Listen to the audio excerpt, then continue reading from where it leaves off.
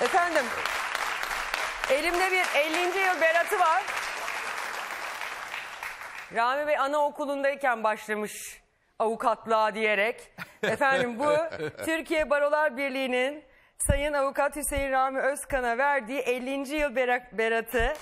Avukatlık mes- mesleğine verdiğiniz tüm emekler ve hukukun üstünlüğü mücadelesine sunduğunuz katkılar nedeniyle şükranlarımızı arz ederiz yazıyor. Ben de böyle elimde çıkmak istedim. Ay çok tebrik ediyorum. Gerçekten çok gurur duyduk. Çok tebrik ediyorum. Nice yıllar inşallah hem eee, mesleğinizde hem bizimle beraber olun. Gerçekten kutluyorum sizi. Aa, şunu da göstermem lazım. Ondan sonra bu da eee, böyle bir madalya. Vay vay vay vay vay çok güzel harika. Gerçekten kutluyorum sizi. Hem kendi adıma hem seyircilerimizin adına. Çok teşekkür ediyorum. Ay hemen gözleri dolu dolu olur. Kıyamam ya. O kadar böyle "Hır hır hır" diye bağırıyor falan böyle sinirli. Ama o kadar duygusal ki bir tarafıyla da. Ben Kıyamam bir, ben. Bir e, anımı anlatmak istiyorum kısa olarak müsaade ederseniz. Buyurun tabii ki.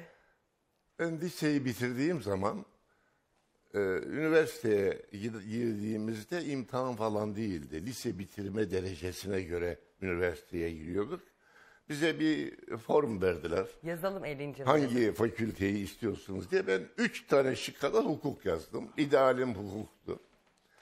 Ve birkaç gün sonra liste asıldı kazananlar. Gittim baktım benim ismim var. 5156 numaram Rahmi Özkan diye. Heyecanla hemen koştum. İstanbul Üniversitesi'nin önünde tablada fakülte rozetleri satılıyordu. İki buçuk liraydı.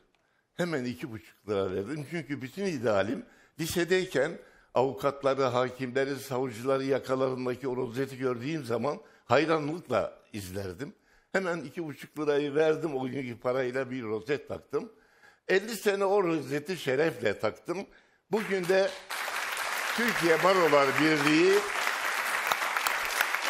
50. yıl rozetini tekrar göndermişler. Allah sağlık verirse bundan sonra da bunu takacağım. Çalışanın, doğru yolda çalışanın Cenab-ı Hak da yardımcısı oluyor. insanlar da yardımcısı oluyor. İşte bunun örneklerini görüyoruz. Başka bir şey söylemek istemiyorum. Kutluyoruz Çok sizi. teşekkür ederim. Kutluyorum inşallah nice nice yıllara gerçekten. Saygılar sunarım. Çok teşekkür ederim. Bence e, herkese de örnek olmalı. Hangi meslek grubunda her olursa olsun. meslekte, her meslekte duyulan biz ilk gün burada konuşurken bu programın açılışında siz heyecanlı olduğunuzdan bahsetmiştiniz. Ben de heyecan başarının kamçısıdır demiştim.